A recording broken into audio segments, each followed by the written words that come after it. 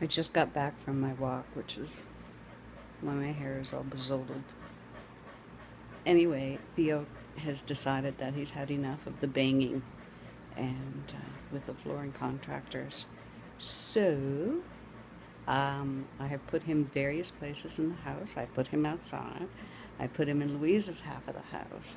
I have tried everything to find a space for him where he felt safe. The only place he feels safe is right here on my lap.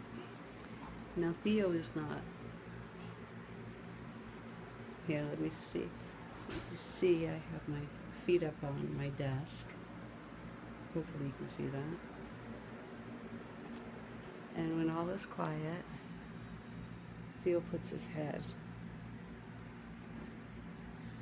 Lordy, Theo puts his head on my on my shoulder and sleeps. When it's not quiet, he attends and stresses and pants.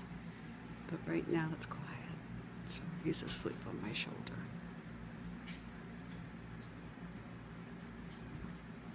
Love you. Everybody? Can you say hi to everybody? Know, he came back, didn't he? Yes, he came back. Head's on my shoulder.